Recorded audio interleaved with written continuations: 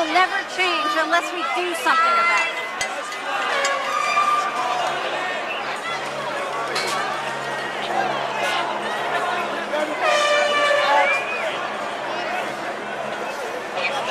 Right now, I would say that the police are the ones blocking the streets.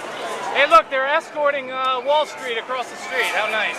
Yeah. How symbolic. They'll escort us to jail and they'll escort some piranha to his job so he can populace.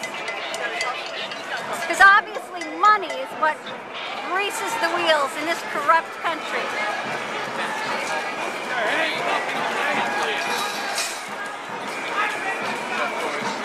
No money for us, but unlimited money. No money for the people who work, but unlimited money for the people who don't.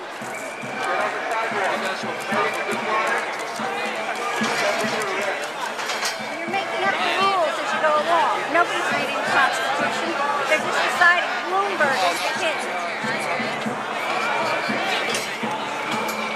そうそう